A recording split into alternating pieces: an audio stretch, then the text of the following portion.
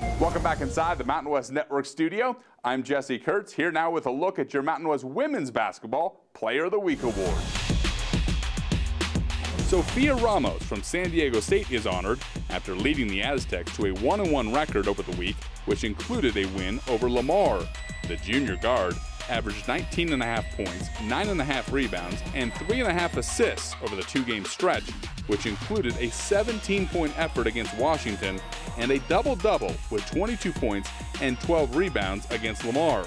Ramos becomes just the second Aztec to have at least 20 points, 10 rebounds, 4 assists, and 3 blocks in a game in the Mountain West era. From the Mountain West Network studio, I'm Jesse Kurtz.